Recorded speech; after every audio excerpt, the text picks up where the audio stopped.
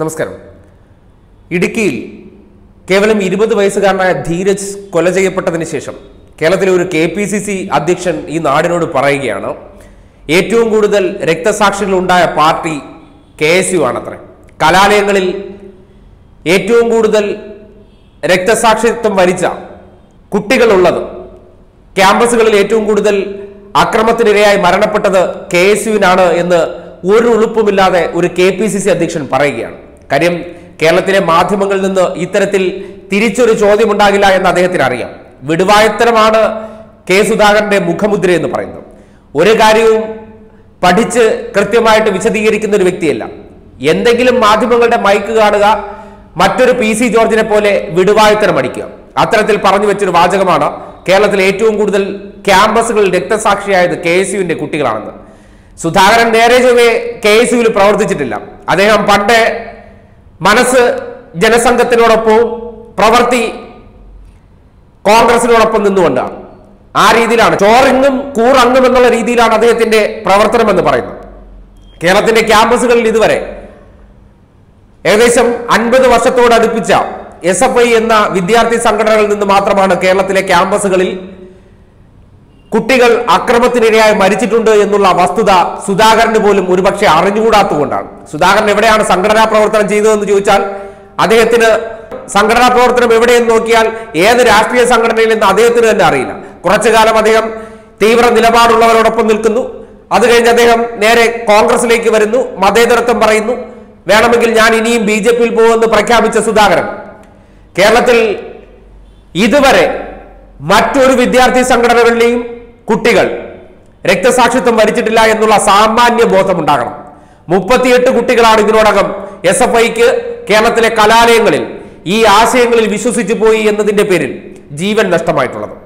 അതിൽ പത്ത് പേരെ കൊന്നൊടുക്കിയത് സുധാകരന്റെ കുട്ടികളാണ്. സുധാകരൻ ഇപ്പോൾ പറഞ്ഞൊരു വാചകമാണ് എന്റെ കുട്ടികൾ ഇറങ്ങി തിരിച്ചിട്ടുണ്ടെന്ന്. എവിടെ ഇറങ്ങി തിരിച്ചിട്ടുണ്ടെന്നാണ്. ഒരു കാര്യം സുധാകരൻ മനസ്സിലാക്കണം. കേരളത്തിലെ ക്യാമ്പസുകൾ മുഴുവൻ എടുത്ത് പരിശോധിച്ചാൽ ഇന്ന് എസ് എഫ് ഐയുടെ ആധിപത്യം മാത്രമാണ് അവിടെ ഉള്ളത്. അവിടെ എസ് എഫ് ഐ ഒരു തീരുമാനമെടുത്താൽ മുൻപ് നിങ്ങൾ പറഞ്ഞതുപോലെ കേരളത്തിൽ പല കോളേജുകളിലും കുറച്ചു കാലം മുമ്പ് നിലവിളിയായിട്ടൊക്കെ നടന്നിട്ടുണ്ടായിരുന്നു. ജനാധിപത്യം അനുവദിക്കുന്നില്ല മത്സരിക്കാൻ പോലും എസ് എഫ് ഐ അനുവദിക്കുന്നില്ല എന്നുള്ള പരാതികൾ പരക്കെ ഉയർന്നിരുന്നു. അതിനെതിരെ എസ് എഫ് ഐക്കെതിരെ വിമർശനം ഉന്നയിച്ച് ഈ നാട്ടിലെ എല്ലാ കോളേജുകളിലും എല്ലാ രാഷ്ട്രീയ പാർട്ടികളും പ്രവർത്തിക്കാൻ അനുമതി കൊടുക്കണമെന്നുള്ള നിലപാട് സ്വീകരിച്ചവരാണ് ഇടതുപക്ഷക്കാർ. അതിന്റെ ഭാഗമായിട്ടാണ് പല കലാലയങ്ങളിലും ഇന്ന് കെ എസ് യുവിന് നോമിനേഷൻ പോലും കൊടുക്കാൻ പറ്റുന്ന സാഹചര്യം ഉണ്ടാകുന്നത്. അതുകൊണ്ട് ആ ഒരു സംഘടന ഒരു തീരുമാനമെടുക്കുകയാണ്. നാളെ തൊട്ട് ഈ കോളേജുകളിൽ കെ എസ് യു പ്രവർത്തിക്കേണ്ട എന്ന് പറഞ്ഞാൽ കേരളത്തിലെ പല കോളേജുകളിലും ഈ ഒരു സംഘടന പ്രവർത്തിക്കുന്ന ഒരു സാഹചര്യം ഉണ്ടാകില്ല. അങ്ങനെയുള്ള അവസ്ഥയിൽ നിന്നുകൊണ്ടാണ് കേവലം ആസൂത്രിതമായി ധീരജ് എന്നൊരു ചെറുപ്പക്കാരനെ ഒരു തരത്തിലും പ്രകോപനമില്ലാതെ കൊല ചെയ്യപ്പെടുകയാണ്. എന്തെങ്കിലുമൊക്കെ വിഷയം വേണ്ടേ? ഞങ്ങളുടെ യുവജന സംഘടനകൾ ഈ നാട്ടിലുണ്ടെന്ന് എങ്ങനെയാണ് അറിയിക്കാൻ പറ്റുന്നത്? ആശയം എന്ന് പറയുന്ന സംവിധാനമില്ലാത്തതുകൊണ്ട്. ഒരു കാരണവശാലും ഈ ആശയം എന്നൊരു സംവിധാനമില്ലാത്തതുകൊണ്ട് ഈ സംഘടനയെ ആരും മൈൻഡ് ചെയ്യുന്നില്ല. പഴയതുപോലെ K S U youth Congress എന്ന് പറയുന്ന സംഘടനകൾക്കൊന്നും വലിയ തോതിൽ യുവജന പ്രാതിനിധ്യവുമില്ല. കാര്യം വളഞ്ഞ വഴിയിലൂടെ അധികാര കേന്ദ്രങ്ങളിൽ എത്താൻ പറ്റുമോ എന്നുള്ള വഴി നോക്കി നടക്കുന്നവരാണല്ലോ കോൺഗ്രസ്സുകാർ. വിദ്യാർത്ഥികൾക്കിടയിൽ പ്രവർത്തിച്ച് അവരുടെ കാര്യങ്ങൾ നേടിയെടുക്കുന്നതിലൊക്കെ വലിയ പാടുള്ള പ്രവൃത്തിയാണ്. അതൊന്നും ചെയ്യാനോ അക്കാര്യത്തിൽ മെനക്കെടാനൊന്നും താല്പര്യമില്ലാത്ത ഒരു ടീംസാണ് ഈ പറയുന്ന ഇതിന്റെയൊക്കെ തലപ്പത്തിരിക്കുന്നവർ. അതുകൊണ്ടാണ് ഇന്ന് ശോഷിച്ച് ശോഷിച്ച് അത് അസ്ഥിപഞ്ചരമായ ഒരു അവസ്ഥയിലേക്ക് എത്തിയിട്ടുണ്ട്. ആ സംഘടനയിൽ നിന്നുകൊണ്ടാണ് ഇപ്പോൾ പറയുന്നത് അവരാണ് ഈ നാട്ടിൽ ഏറ്റവും കൂടുതൽ രക്തസാക്ഷിത്വം വരിച്ച സംഘടനയെന്ന്. കുറച്ചൊക്കെ ഉളുപ്പ് വേണ്ടേ സുധാകര? ഇങ്ങനെ പെരുന്നുണകൾ ഈ നാട്ടിലെ ജനങ്ങളോട് വിളിച്ചു പറയാനായിട്ട്. എസ് എഫ് ഐ എന്ന വിദ്യാർത്ഥി സംഘടന. ആ സംഘടനയിൽ പ്രവർത്തിച്ച് ആ സംഘടന ഇന്ന് കാണുന്ന അവസ്ഥയിലേക്ക് എത്തിക്കപ്പെടാൻ ഒരു കാലഘട്ടത്തിൽ എന്തെല്ലാം പ്രതിസന്ധികൾ നേരിട്ടു എന്ന് നിങ്ങൾക്കൊന്ന് പരിശോധിച്ച് നോക്കിയാൽ മനസ്സിലാകും. അന്നത്തെ കാലഘട്ടത്തിൽ ഈ കെ എസ് ഐ എഫിനും ഇന്നത്തെ യൂത്ത് കോൺഗ്രസിന്റെയൊക്കെ പഴയ ബോഡികളുണ്ട്. അവരൊക്കെ ക്യാമ്പസുകളിൽ അഴിഞ്ഞാടിയ ഒരു രീതിയുണ്ട്. അന്നത്തെ കാലഘട്ടത്തിൽ ഈ പറയുന്ന സംവിധാനത്തെ വളർത്തിക്കൊണ്ടുവരാനായിട്ട് ഒരുപാട് പേർ ചോര ഒഴുക്കേണ്ടി വന്നിട്ടുണ്ട്. ആ ചോരയുടെ പുറത്ത് നിന്നാണ് ഈ കാണുന്ന എസ് എഫ് ഐ പടർന്ന് പന്തലിച്ചത്. അവർ ജീവൻ കൊടുത്തും രക്തം കൊടുത്തും വളർത്തിയെടുത്ത ഈ ഒരു പ്രസ്ഥാനം.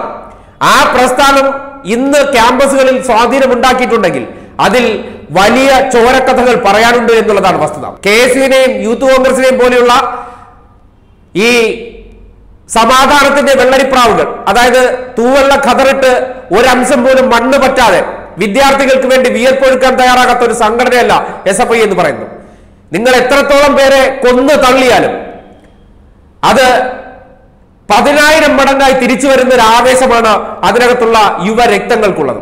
അതുകൊണ്ടാണ് ആ സംഘടനയ്ക്ക് ഇന്ന് കേരളത്തിലോ ഒരുപക്ഷെ ഇന്ത്യ എടുത്ത് പരിശോധിച്ചാൽ പകരം വയ്ക്കാൻ പറ്റാത്ത ഒരു സംഘടനയായി മാറിയിട്ടുള്ളത്. ഇത്രമാത്രം യുവജന പ്രാതിനിധ്യവും ഇടതുപക്ഷത്തിന് ഇത്രമാത്രം നേതാക്കളെ സംഭാവന ചെയ്യുന്ന ഒരു യുവജന പ്രസ്ഥാനമായി അതിന് മാറാൻ കഴിഞ്ഞത് അതിന്റെ ആശയം ഒന്നുകൊണ്ട് തന്നെയാണ്. സാധാരണക്കാർക്കിടയിൽ നിന്ന് പ്രവർത്തിക്കുന്നു. വിദ്യാർത്ഥികളുടെ ആവശ്യങ്ങൾക്ക് വേണ്ടി പടപൊരുതുന്നു. ഇതെല്ലാം കൊണ്ട് തന്നെയാണ് അത് വളർന്നിരിക്കുന്നത്. അപ്പോ ആ സംഘടനയെ നിങ്ങൾക്ക് ആശയം കൊണ്ട് തോൽപ്പിക്കാൻ പറ്റാത്തത് കൊണ്ട് പെരും നുണകൾ കൊണ്ട് തോൽപ്പിച്ചു കളയാമെന്ന് സുധാകരൻ കരുതുന്നുണ്ടെങ്കിൽ ഈ നാട് അത്രത്തോളം ചിന്താധാരയില്ലാത്തവരാണെന്ന് കരുതി കളയരുത് നിങ്ങളുടെ ഈ പൊട്ടത്തരങ്ങളും വിടുവായുത്തരങ്ങളും അല്ലെങ്കിൽ പെരും നുണകളും കേട്ടാൽ കുറച്ച് ബോധമില്ലാത്ത വിവരമില്ലാത്ത യൂത്ത് കോൺഗ്രസ് കെ എസ് യുകാരൻ വിശ്വസിച്ചെന്നിരിക്കും. പൊതുസമൂഹം അങ്ങനെ വിശ്വസിക്കണമെന്നില്ല. തൊള്ള തൊടാതെ വിടുന്ന കുറെ പേരുണ്ടെന്ന് കരുതി എന്ത് പെരുന്നുണയും മാധ്യമങ്ങളിലൂടെ വിളിച്ചു പറയാൻ കുറച്ചൊക്കെ അന്തസ് വേണ്ടേ? അല്ലെങ്കിൽ എന്തിന്റെ അടിസ്ഥാനത്തിലാണ് കേരളത്തിലെ ക്യാമ്പസുകളിൽ കെ എസ് യുക്കാരാണ് ഏറ്റവും കൂടുതൽ കൊല ചെയ്യപ്പെട്ടിട്ടുള്ളതെന്ന് ഒരു അടിസ്ഥാനവുമില്ലാതെ നിങ്ങൾ പറയാൻ കഴിഞ്ഞത്? ഇത്തരത്തിലുള്ള പെരുന്നുണകൾ കൊണ്ട് നിങ്ങൾക്ക് എത്ര കാലം കൊട്ടാരങ്ങൾ പണിയാൻ കഴിയും? ഒരിക്കലുമില്ല. നിങ്ങൾ ഇപ്പോൾ ചെയ്ത ഈ തെമ്മാടിത്തനം. ഒരു ക്യാമ്പസിൽ തിരഞ്ഞെടുപ്പ് നടക്കുമ്പോൾ പുറത്തുനിന്ന് ആളെ കൊണ്ടുവന്ന് ഒരു ഇളം പൈതലിനെ കുത്തി കൊലപ്പെടുത്തിയതിനു ശേഷം അതിനെ ന്യായീകരിക്കാൻ വേണ്ടിയാണ് ഈ തെമ്മാടിത്തരങ്ങൾ വിളിച്ചു പറയുന്നത്. ഇതൊക്കെ കേട്ടെന്ന് കരുതി നിങ്ങൾ കരുതും പോലെ യൂത്ത് കോൺഗ്രസും കെ എസ് ഒക്കെ ഇപ്പോൾ ഒരു വൻമരമായി മാറാനൊന്നും പോകുന്നില്ല. അതെല്ലാം മണ്ടരി ബാധിച്ചു മുരടിച്ചു കഴിഞ്ഞു. ഇതൊക്കെ ഇനി ഏത് കാലഘട്ടത്തിൽ അവസാനിക്കാൻ പോകുന്നു എന്ന് മാത്രം നോക്കിയാൽ മതി.